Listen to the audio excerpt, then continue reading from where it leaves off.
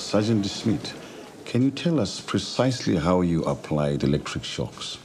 Come on, I don't need to fly 5,000 miles to interview some white cop killing black folk. I want you to go out there, Langston. Sound bites are 20 seconds, voice reports 40 seconds. That's all we've got to grab the listeners. Langston Whitfield, Washington Post. With all due respect, how can there be reconciliation when 90% of the country's wealth is still in the hands of the white minority?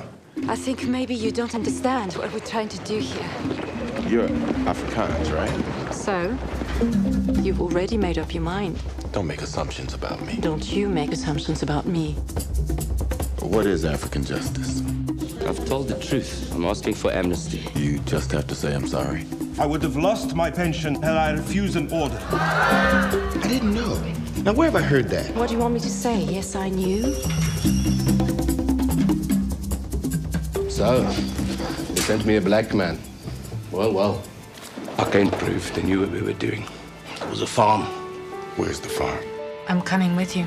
The means employed to carry out the orders of his superiors were out of all proportion with the objective sought. Oh my God. When are you going to stop taking their side against us? It's not about blame. It's about finding out the truth. I've never felt excitement like that. Mother. How could you possibly think it was right to do what you did?